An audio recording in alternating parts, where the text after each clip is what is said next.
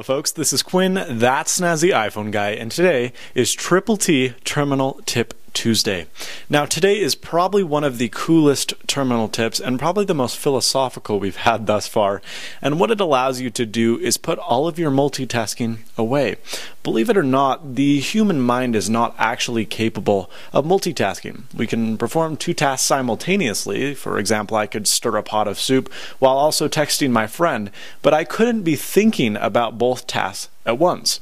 Our subconscious allows us to perform multiple tasks, like driving, for instance, and we can switch back and forth very rapidly. However, we cannot actually focus on two things at the same time. We expect our phones to, and we expect our computers to, but we ourselves cannot do this.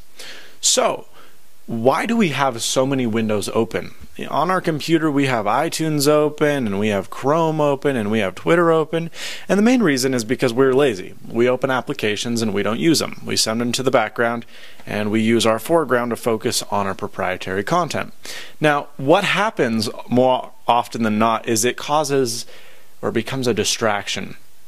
I'll be writing an essay and then I will physically change direction and move to my Twitter feed and start reading and responding to tweets.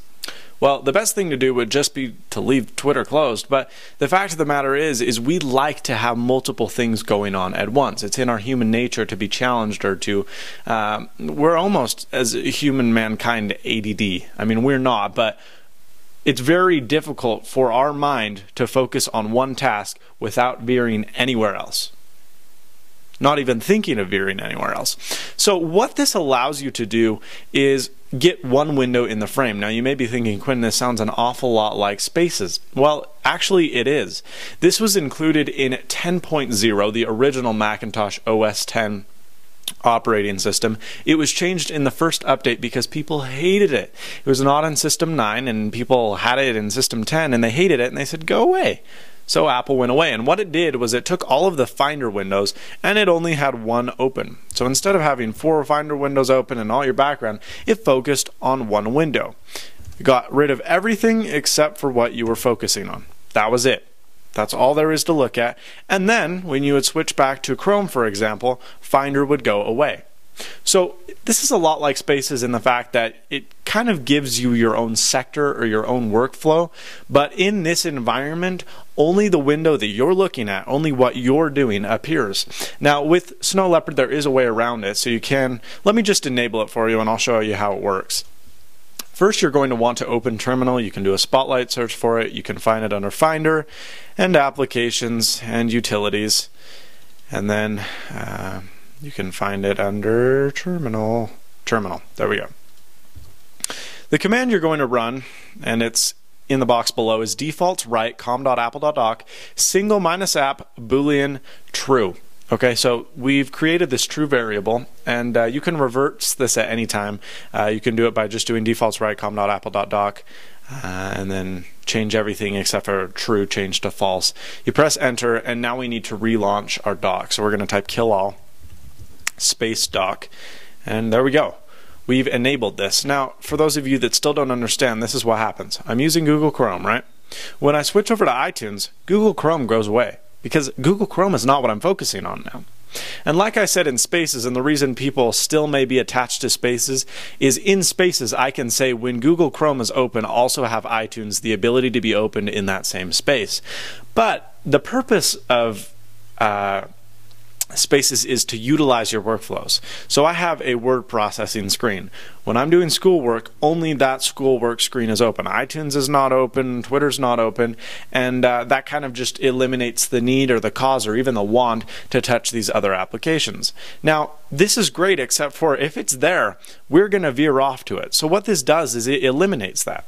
It only focuses on the task at hand and it even works for the finder.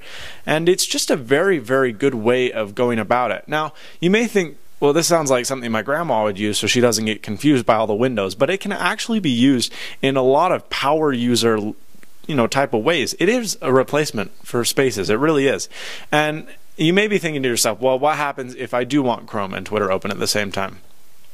I'm sure you all know the command, and if you don't, it's about time to learn it. It's Command Tab. That allows you to shift through the different applications you're using. Now, when you use Command Tab, this will allow you to have both applications open simultaneously. I can go back and forth, and they're not going to disappear. But then, boom, I go back to it and we're ready to go. So this really kind of changes the way you'll use your Mac because you don't focus on the windows or the content in the windows, you focus on the applications in the dock. When I want to move to another application, I click it and that other workflow goes away. And like I said, let's say I was tweeting something and I needed to get the information off my Chrome page, I just go to the Twitter client or to my text editor, what have you, and all of these open windows will cycle and open the same way. But it really is just a very handy way to minimize and get rid of the distractions in your workflow. I found it to be extremely beneficial in schoolwork and a lot of other stuff. It keeps your desktop clean and it really does make you focus on one thing. You get things done faster. It's just a matter of fact. So hopefully this terminal tip will help you utilize your workflow. Uh, again, to change it, all you need to do is open terminal. If you want to go back and you say, wait, I want to do a lot of things and have a crazy disorganized workspace, you can uh, paste that and instead of true, you type false and then you kill all dock and then you can have as many applications as you want open in the same space at the same time. So let me know if you like this. It's going to be weird at first. It'll be really weird at first, but I can almost guarantee you that you're going to like it.